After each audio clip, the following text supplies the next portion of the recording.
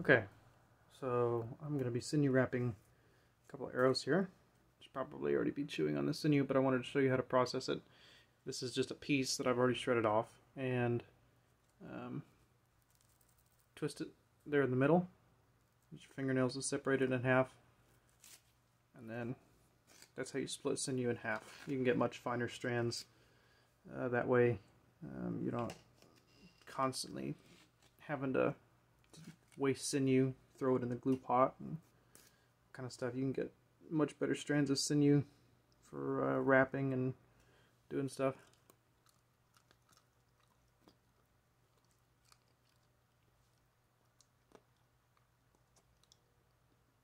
Pause this while I moisten the sinew. Okay, I've got one of these pieces of sinew in one cheek and one in the other. I've already wrapped this one and it's done. You can see I am not wrapping over the point. Just, come on. Not wrapping over the point, just wrapping on the shaft just to prevent it from splitting. So, we're going to do this one next. Ah, take your sinew. See that it's fully moistened and is ready to go. Make sure that it is not folded. Folded, it's not going to lay right. You're going to have a horrible time trying to stretch it out and get it to behave. There we go. Those little strands there. Use those for sewing or throw them in the glue pot, whatever you want to do. But all I do There we go. All I do is I start here at the front just lay it over the top right at the base of the point. This one's a little sticky. Nice. I just wrap. That's it. It's very, very simple. Wrap tight. Pull it tight. Um, use your fingernail as kind of a guide and to flatten it out while you're wrapping. Um, and try not to go over the same spot twice. Um,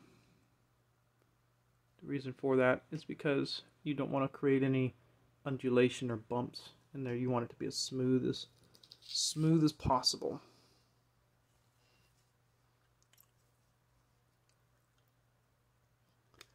Other blob of sinew.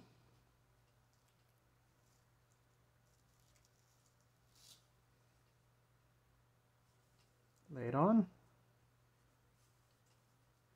and thumbnail wrap.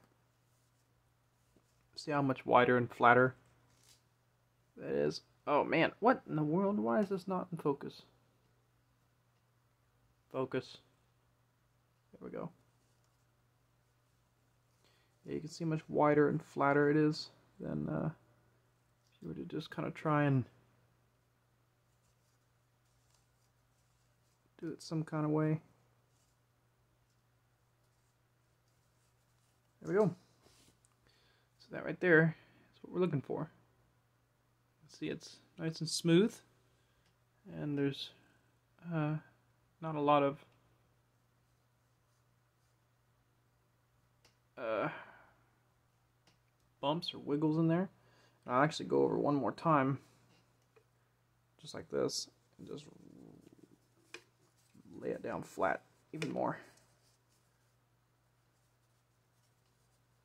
And that creates a nice smooth wrap that's going to be durable. Let me see here the two fresh ones laid next to each other. Nice fresh wrap that's going to be durable. And you're really not looking for that much durability. There's these arrows are single time use basically, or I should say the points are single time use, and you're going to replace that sinew after each after each hunt traditionally. So that's it. That's the process. Super easy. Probably didn't take a five minute video, but here we are.